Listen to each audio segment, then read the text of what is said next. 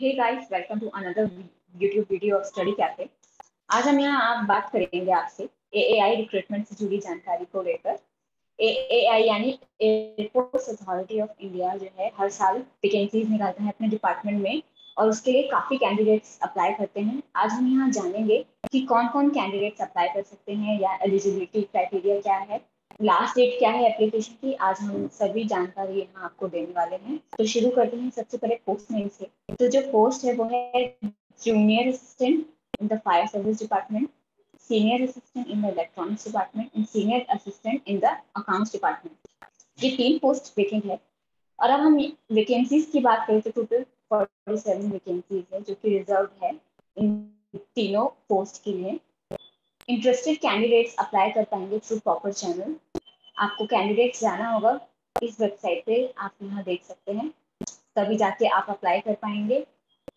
अब जो लोग अप्लाई करना चाहते हैं, उनके पास valid qualification and relevant experience होना चाहिए। तभी आप अप्लाई कर पाएँगे। आपको ऑनलाइन रजिस्ट्रेशन करना होगा एप्लीकेशन फॉर्म भरने के लिए। और मैं आपको बता दूँ दोस्तों, जो लास्ट डेट रहेगी अप्लाई करने की, वो रहेगी टेंथ नवंबर ट्वेंटी यहाँ पे हम पोस्ट देख सकते हैं। सीनियर असिस्टेंट यानी कि इलेक्ट्रॉनिक्स डिपार्टमेंट में जो पोस्ट है, इसका लेवल इतना होगा। सीनियर असिस्टेंट अकाउंट्स डिपार्टमेंट की पोस्ट के लिए level will be this in junior assistant fire service department के लिए एन ई फोर अब हम देखते हैं वैकेंसीज कितनी है इन तीनों पोस्ट के लिए। तो अगर हम बात करें सीनियर असिस्टेंट की पोस्ट के लिए तो इसके लिए नौ वैकेंसीज हैं।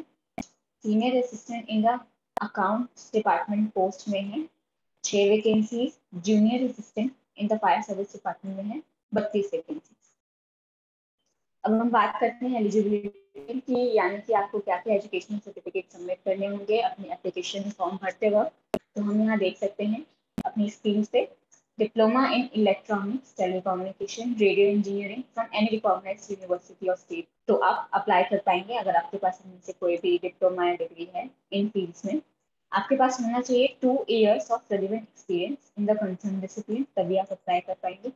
अगर हम सीनियर असिस्टेंट की पोस्ट की बात करें तो इसके लिए जो आपको क्वालिफिकेशन चाहिए होगी वो होगी graduation degree in B com with computer training course of three two six months यानी कि आपके आपके पास अगर कंप्यूटर ट्रेनिंग कोर्स का सर्टिफिकेट है तो अप्लाई कर पाएँगे। इसके साथ ही आपको चाहिए two years of relevant experience in the concern discipline अब आती है जूनियर असिस्टेंट की पोस्ट की बात in the fire service department तो इसके लिए आपको चाहिए tenth pass plus three years approve regular diploma in mechanical automobile fire with minimum 50% marks from any recognized university or तभी आप अप्लाई कर पाएँगे। आपके पास होना चाहिए twelfth pass certificate with at least 50 percent marks driving licence होना चाहिए। और यहाँ पे हम देख सकते हैं ये हमारे डिजरेबल क्वालिफिकेशन एंड एक्सपीरियंस पे मेंशन किए हुए हैं। यानी कि अगर आपके पास एडिशनल क्वालिफिकेशन है तो और भी अच्छा रहेगा। आप एलिजिबल माने जाएँगे इस पोस्ट के लिए। तो हम देखते हैं।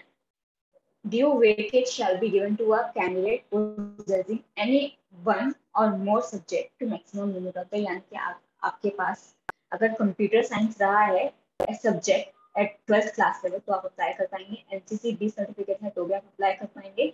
Relevant experience in an aviation regular industrial fire service तो आप अप्लाई कर पाएँगे। ये सभी आप देख सकते हैं डिजरेबल क्वालिफिकेशन एक्सपीरियंस की लिस्ट है। अगर आप ये सब है तो आप अभी जाइए और अप्लाई कीजिए। अगर हम पोस्ट की बात करें एज लिमिट की बात करें तो जो एज लिमिट रहेगी वो अठारह से तीस साल के बीच, यानी कि कैंडिडेट की एज जो है, इसी के बीच होनी चाहिए। Five years for the candidate belonging to S C and S T category three years जो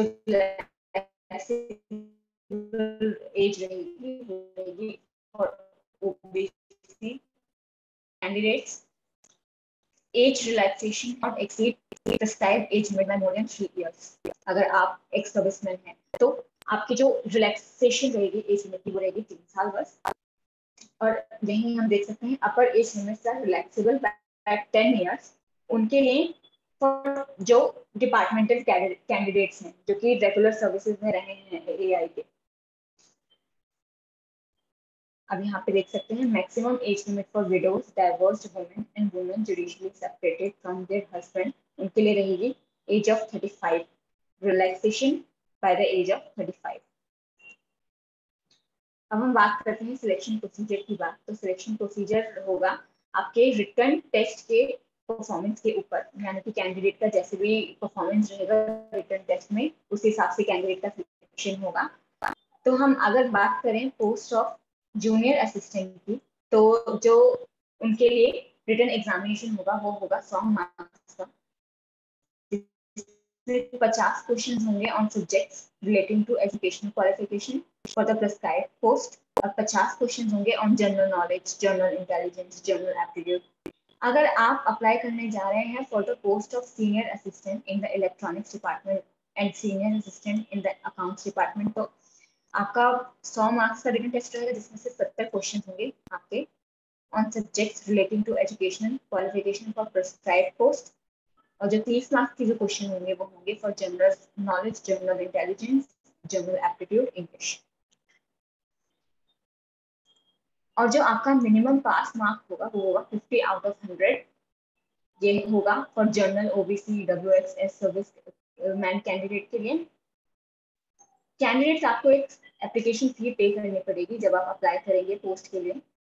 तो हम यहाँ देख सकते हैं जनरल और ओबीसी कैटेगरी के लिए जो एप्लीकेशन फ़ी है वो है रुपीज़ थाउज़ेंड अगर हम बात करें female S C S T P W D या एक सर्विसमैन के लिए तो आपकी जो एप्लीकेशन फ़ी रहेगी डिपेंडेंट ऑफ़ एक्स सर्विसमैन उनके लिए कोई एप्लीकेशन फ़ी नहीं रहेगी।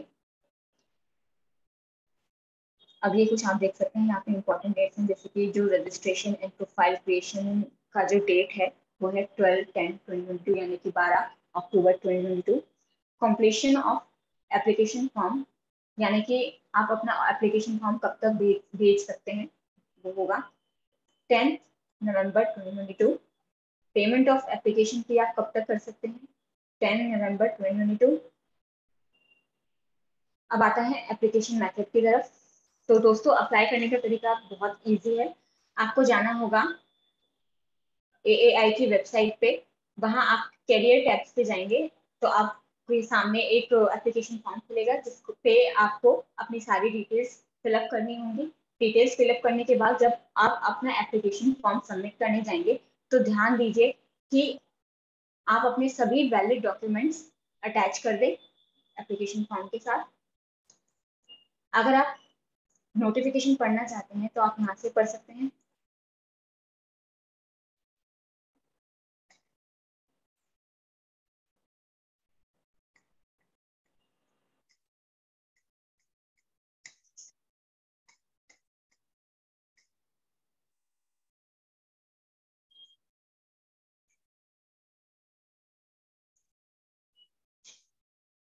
तो ये थी हमारी ए आई रिक्रूटमेंट से जुड़ी जानकारी।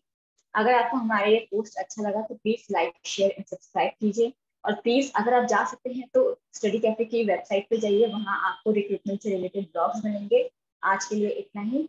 बने रहिए हमारे साथ।